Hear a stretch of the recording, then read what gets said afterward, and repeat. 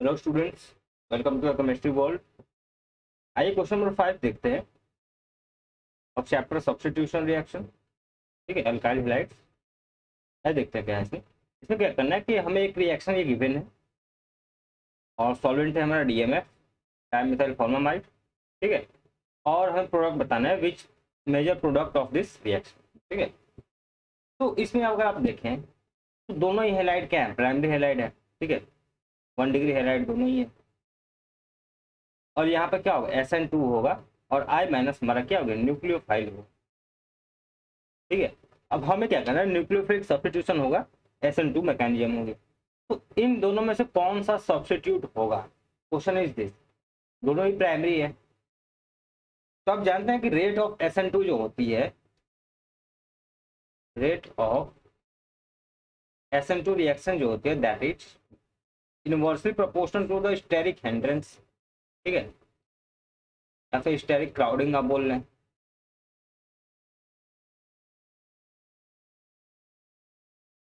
Steric crowding के inversely proportional होता है।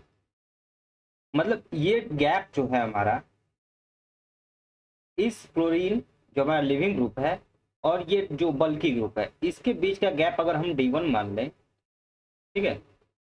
और इस क्लोरीन और इस बल्कि ग्रुप के डिस्टेंस को हम डी टू मान लें ठीक है? तो D one is greater than D two मतलब गैप ज़्यादा है मतलब क्राउडिंग कम होगी। स्टेरिक क्राउडिंग वैसे भी आपको दिख रहा है कि जितना ज़्यादा दूर होगा स्टेरिक क्राउडिंग मतलब भीड़ से उतना ही ज़्यादा दूर होगा और एस एन टू रिएक्शन उतनी ही आसानी से हो पाएगा। ठीक है?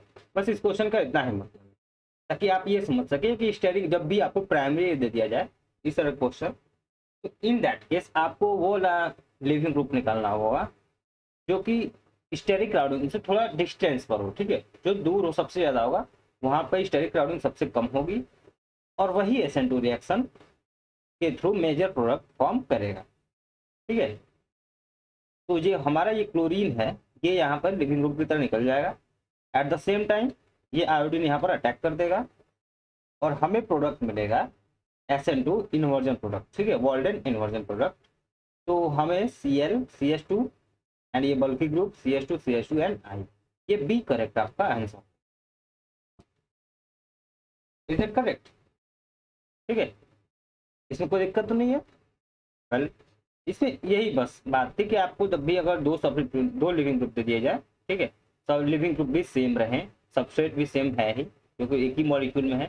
तो इन दैट केस जिसके जहाँ पर स्टेरिक क्राउडिंग सबसे कम होगा, वो वाली लिविंग ग्रुप निकल जाएगी इन केस ऑफ़ एस और आयोडीन जो है एट द सेम टाइम उस पर अटैक करके अपना प्रोडक्ट फॉर्म कर लेगा। ठीक है? तो आई होप आपको समझ में आया। छोटा सा सवाल था बट थोड़ा ट्रिकी था, ठीक है? इसमें कन्फ्यूज़न ये होता है कि हम इन दोनों में से कौन से क्लोरीन को निकालें। ठीक है? कोई दिक्कत तो नहीं है? चलिए। तो ये थी हमारी क्वेश्चन नंबर फाइव ठीक है? तो मिलते हैं नेक्स्ट वीडियो में नेक्स्ट क्वेश्चन के साथ। Thank you so much